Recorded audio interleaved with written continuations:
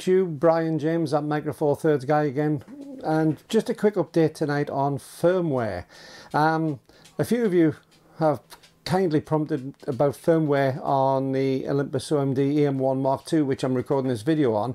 Um, remind me to get the firmware updated and I did so, uh, well the, the dealers did for me, so it was already up with version 3.4 but it did prompt me to have a look at firmware a little bit on there. And before we go any further, don't forget if you're not a subscriber already, hit the subscribe button below. Don't forget to give me a thumbs up because that gets all YouTube's algorithms all over the place and gets them to actually boost my video so more people can see it. And for those people who've supported me previously in the past, thank you very much. For those who haven't, there is a, a, PayPal link if you would like to donate something for a cup of coffee or something towards the fuel for me to go out and carry on doing these videos. Anything's gratefully accepted. Thank you very much. Now, the other thing is as well, keep watching this video till the end because I've got some wonderful news if you're a Lumix user. Um, so, keep watching. Firmware. Yeah, had a look on my firmware. It prompted me to have a look at what I've got on all the cameras because of those comments. And thanks very much for those comments. I did appreciate them because it does it does get your mind going a little bit. And so I knew that the camera was on version 3.4. And what I did is I just checked in the back to have a look on the firmware version on the screen. On both the Lumix and the Olympus you can check the firmware settings just by looking on the on the camera settings on the main menu and you'll find in there for version information. Have a look for both. The Olympus OMD EM1 Mark II should be on version 3.4 for its best. Now I've got three cameras uh, which I'm bothered about on this which are the GX8, the G9 and this Olympus which I'm recording at the moment. I had a look at the GX8 and the GX8 was on version 1.1 which is still the correct one and I could find this out by looking on the Lumix website.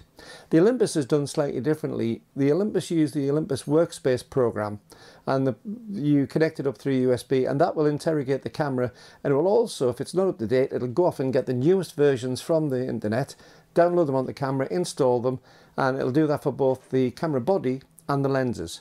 So it's really, really good on that one. The Lumix works slightly different. You've got to go on the Lumix website and it'll give you the current updates information on that. It has files, links to the download files, and all you do is just download them. It's a, either a self-extracting exe file or it's a zip file. Whichever way, there's a file in there either for the lens or the camera, and that will, um, you just put that onto the root of the SD card and it installs through that. What I did find though, which rather shocked me, first of all the G9. I remember a couple of years ago the whole world was desperate for the version 2 software to come out and the version 2 software for the firmware really was a huge improvement. It was like buying a whole new camera and that was absolutely fantastic when you just spent a fortune on a camera um, to get the improvements which was almost like getting a brand new model for free was wonderful. So we did that. I'd obviously done version 2.1 and I realised on the website we're up to 2.3. I hadn't looked for so long. I was just enjoying my shooting and I also had a year off where we didn't do anything, of course, with pandemics. So I hadn't realised that, we that I actually missed out version 2.2 and 2.3. So that was well worth up upgrading them and they give improvements to the autofocus and all sorts of things on the camera from that. But also the lenses. Almost all of my lenses were out of date firmware wise. And it might seem insignificant on a little bit insignificant on a lens, but lenses, the firmware really is important. For instance, the Olympus 45mm 1.8 had improvements which wasn't so much to do with going on Olympus cameras, but because this is a cross a cross uh, manufacturer mount, we're talking about the you know Lumix and Olympus. What it did is it actually had improvements so that the 45mm would work better when connected to a Lumix camera. And since I shoot both, it was a really worthwhile improvement on that. So it's worth doing those. And as I say, most of mine weren't up to speed. So I spent a little bit of time getting the the uh, lenses up, upgraded and getting those on. And to do the lens is very simple. When you've done the camera, and upgraded that, then you can just keep on changing lenses and up uploading those. Now, as I say, that uploading a slightly different way. So if you've never done a, a, firmware update, don't worry, don't panic. I know a few of you do. It's straightforward. There's a few little golden rules in it, but the actual thing is very straightforward. First of all, make sure you have a well, fully charged battery. And if you've got a selection of batteries, make sure you've got the, the one which holds the charge best make sure it's fully charged, and that's the battery used in the camera, whether it's Olympus or Lumix. For Olympus, connect it up to the workspace and connect up the USB connector. All your updates from the Olympus are done through the software and just follow the instructions on the on the camera back and on the software as you're doing it and just keep on changing lenses as and when you've finished doing those updates to carry on doing the next one. The Lumix, you download the file as I've already said. And the other thing on the Lumix is, is put on the SD card. Important thing, format a nice new card in that camera that you're going to do the updates on. No other camera, not in your PC, not in your Mac. Make sure you, that you format that SD card afresh on the camera you're going to be installing it on. Then pop it on the PC, copy the file for the camera across into the root of the SD card, stick it in, press play when you've switched the camera on, press the play button, and that will give you uh, the prompt to actually install the uh, firmware update. If you're doing it for a lens, it's a different file. Keep on replacing that file in that root, and that will keep on doing the, the lenses and the, the camera body itself. And the procedure is the same for both.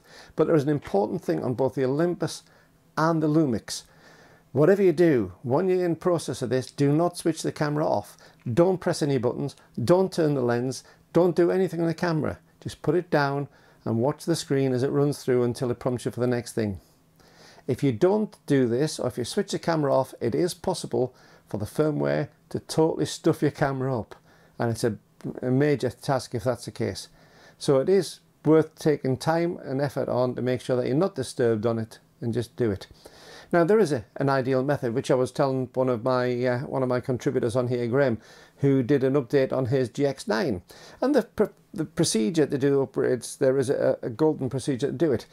What you need though is you need some boiling water, and that's very important for this. It's very important procedure. What you do, go into the kitchen, download all the files that you need first, the upgrade files, or connect the camera up ready, then go in the kitchen, switch your kettle on, get the water boiling while the water, while the kettle's boiling, come through, do your upgrades.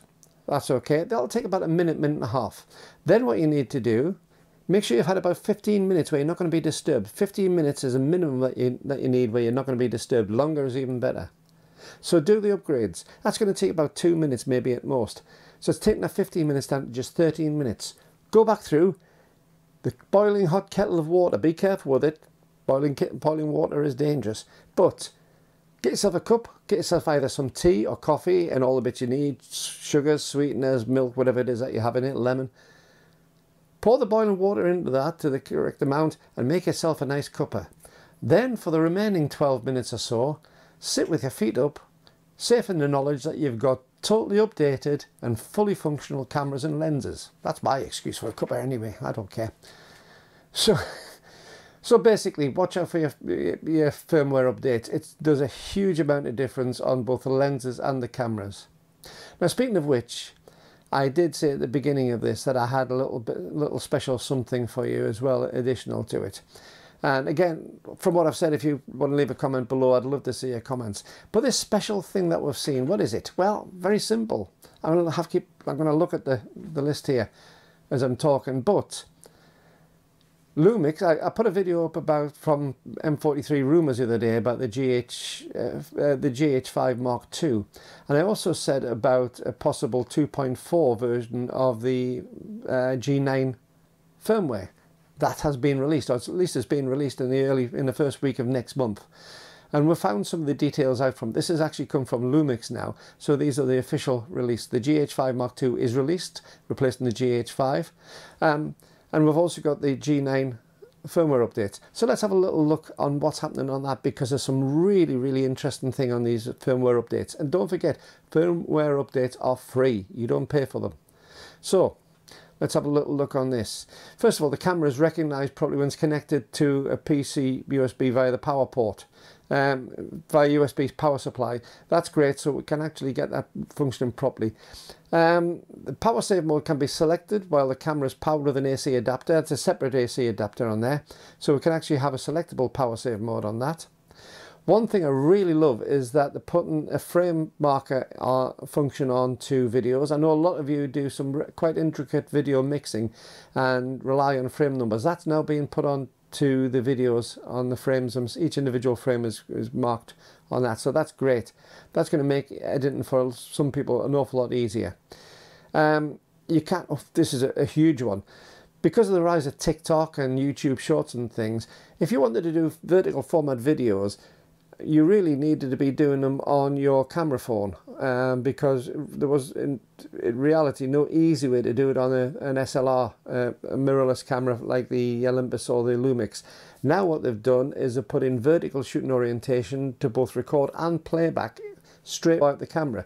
What that means is that you can put your video straight up on the TikTok or YouTube Shorts straight off the camera in the correct orientation without having to put them through any sort of rotational software. Absolutely superb insofar as that for those users. Um, it's possible to record and play back vertical videos as I say and the thing is that the camera automatically detects what you're doing so as you turn the camera around sideways it will detect it for you. One thing I really really love is the fact that they're putting the red record frame right the way around the display when you're in a record mode for videos. Now I'm a couple of feet away from the camera at the moment and I'm recording on this and to tell you the truth the seeing the little red dot in the top corner is a pain in the backside it really is because you can hardly see it especially as you get older. I'm actually recording on the OMD EM, EM1 Mark II and the record indicator is on the top left. Now the problem is when my mic cable is plugged in that's obscuring it. So for me to actually see that it sees recording, they're going to appear on the side. It's a tiny little red flashing light, and if you're more than a couple of feet away, you can't see it. This red frame indicator is going to make knowing that you're recording an awful lot easier. I did a piece to camera earlier on for a video and did about a five minute piece, looked at the camera and realised it hadn't been recording because you can't see the indicator on it. So that's a real, it's a simple little thing, but it's a really important one for me. And perhaps the most important thing, and I am reading this because I need to get these correct because these are mega. These really are mega changes. And it's the autofocus system. Most of the comments I've received when I've been talking about the G9 and the EM1, EM1 Mark II has been about the G9's poor autofocus capabilities. Now, for me personally, I don't push at the limits on that, so I don't notice it too much. However, an awful lot of you do, especially if you're using fast moving objects, and especially ones where you've got um, object tracking across the screen. It just doesn't really keep up and it's, it's, it's sluggish and that can cause so many problems. So just having a look at this, these are they've basically taken the autofocus system from the S5, the full frame S5 system, which is a considerable improvement on the G9. And the G9 is considered to be a considerable improvement over the GH5. And the GH5 has a firmware update as well, so it's worth having a look at that one. But I'll read it off what it says. Eyes and face are detected at a two times faster recognition speed and humans and animals at a five times faster recognition cycle speed. That's huge. That's a minimum of 100% improvement. And, you know, getting for a 250% improvement overall on on some of these. You know, this is absolutely fantastic to be able to get these sort of improvements on the autofocus. Presume it works well, but they usually do keep up with what they're saying. So this has given quite a sizable chunk of improvement on the G9 especially to bring it up to the S5 class because that's that has been different league up to now. On the ones who do a lot of speed tracking, tracking and recognition performance on autofocus are improved with the addition of head recognition. So it recognises a head as opposed to a full body or the eyes. So again, that's given a tighter control as to what's happening insofar as the autofocus, especially on tracking. And finally, human and animal recognition can be set on or off when the autofocus is set to a single area, to one area, which wasn't available before. So that's giving you more options of what you can do. These are huge improvements and very, very worthwhile to see. So I'm, I'm, I'm quite chuffed about these and I really can't wait. I think it's the 7th perhaps. I, I can't remember the exact date. Um, I'll just try and wind up this if I can. But I think it's the 7th, which is um, the release date for it. Whatever it is, I do know that it's going to make quite a sizable difference to the performance of the camera. So that's great. And a final thought on the G5 Mark II. I've seen quite a bit of, um, shall we say, um, uncomfortable reviews on it not not particularly complimentary because it's not a huge step up from the GH5 and I think people were expecting the big leap of a GH6 well first of all news on the GH6 Lumix have said that the GH6 will be released towards the end of 2021, so it is on its way. The GH5 Mark II isn't a huge increase over the GH5, and it's getting quite a bit of uh, stick over that, but I, I'm looking in a slightly different way. I'm looking at if you were to buy a car, a new version of a car comes out, Usually after a couple of years they'll bring a facelift version out. It's just got some nicer trim, it might have some different seats, it might have a different styling look to the outside, but it's basically the same model as it was. To me, this is what they've done with the GH5 too, and I don't think it's a bad thing. It's going to be costing about the same as a GH5, so you're getting a better camera for the same sort of money. It's got some new features in it, which bring it up to date with what's happening with technology anyway. It does have an important side effect on the used side. Now, if you're already a GH5 user, your camera's probably just gone down in value somewhat. But for somebody who's in the market to buy a camera like a GH5 and it was just out of reach, this may very well bring it into reach for you a little bit more. It's It means that the GH5 itself is going to drop down slightly in price for its used in the used market and I think it's a really good thing. We need the GH5 we need the GH6s we need the new cameras. Although I love the, the idea of buying good quality used equipment, I'm also believe that you do need new equipment because that's what actually keeps the market going and provides the, the used equipment for people like me to buy. So it's really important on that. The GH6, ooh, that's a bit tasty. Now, I'm, again, not a, great fan of super megapixels counts insofar as the numbers. I don't go in for the big numbers. I don't pixel peep particularly anyway. I still use my um, AMD OM1 uh, my OMD EM1 Mark 1 which is a 16.1 megapixel camera and I've had some phenomenal results out of that. So I don't necessarily believe that you need these big pixels. But there's rumours, I've seen it on two different sites as to what the sensor size is going to be on the GH6 when it comes out. One is saying about 24 megapixel, which is fabulous. One saying about 33 megapixel. So I'm not sure which way it's going to go. I haven't actually had anything confirmed in what I've read. But whichever way it is, it's not going to make a huge difference to me insofar as the, the, pixel count. I'm not a great fan of super high pixels, but what it does is it brings the Micro Four Thirds system back to being compatible um, with its peers of other uh, platforms. And by that, I mean, it puts us in a position where we don't seem the underdog anymore having a respectable 24 or 33 megapixels when the big boys have also got the same really is going to bring us in that league. I don't think we need to from a system, but I think sales wise we do. What it really has meant though for me in all this is that both GIS with the um, Olympus Digital Systems um, since the takeover and also Lumix have both shown a considerable commitment to keeping the Micro Four Thirds platform very, very buoyant. It shows a commitment into doing that. And as a, as a committed Micro Four Thirds user, that really gives me some comfort. So I would quite happily buy any Olympus equipment or any Lumix equipment in the comfort that uh, there's still going to be development there and it's still going to have a future. So that to me is really good because I know that some of the pundits have been writing Micro Four Thirds off. I did say something about the Northrups the other day, and also I was watching Jared Polin absolutely uh, obliterating Micro Four Thirds in one of his um, commentaries. Both have done this for some time. I personally think the Micro Four Thirds system is here, it's here to stay, and it's here to improve, and I think it's great. What do you think? Leave me a comment below as to what you really think about things. I'm really impressed with the comments I'm seeing. Don't forget, if you haven't subscribed, and I'm almost at 2,000 subscribers, please hit the subscribe button below and the little bell to send a notification when I release a new video.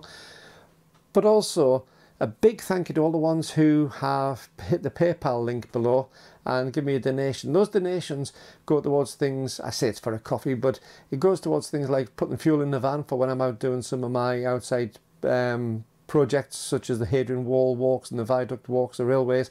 It puts um, it gives me the ability to put film into cameras. I'm, I'm doing the update on the Olympus OM1N, the film camera that I've had for 41 years, and I've just put a film into that, and that's going to need processing. So the donations which I'm getting at from those people really are being put to good use. You're keeping the channel on the air, and I thank each and every one of you from the bottom of my heart for it. Thank you. Your names will be scrolling at the end, by the way. Whatever happens, if you do get the chance to get these updates, go and put them in. I think it's going to be well worth it. But the most important thing is still keep on taking the camera out, take lots of photographs, enjoy your photography, and I'll see you next time. Bye bye.